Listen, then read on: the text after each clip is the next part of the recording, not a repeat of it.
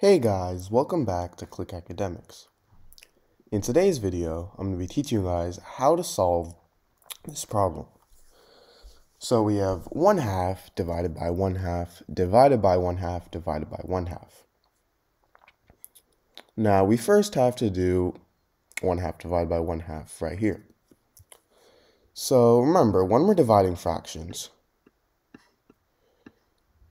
we have we first change the division sign to a multiplication sign, and then we flip the places of the numerators and the denominators of the number that is being divided by.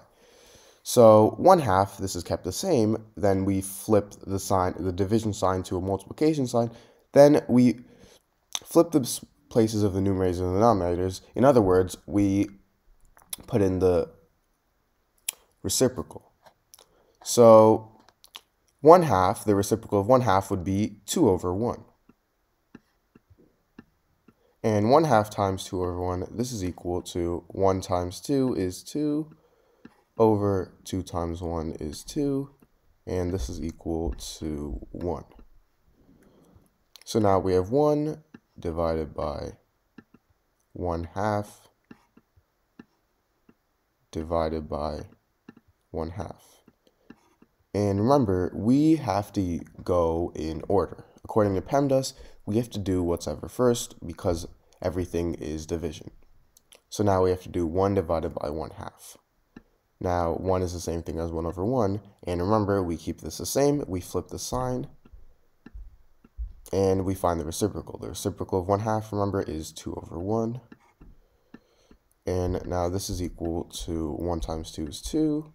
And 1 times 1 is 1. So we have 2 over 1, which is equal to 2. So now we are left with 2 divided by 1 half. Now remember, let me, so over here, 2 is the same thing as 2 over 1. Now we flip the sign, and we find the reciprocal. The reciprocal of 1 half now is 2. Now 2 times 2 is 4 and 1 times 1 is 1, so this is equal to 4.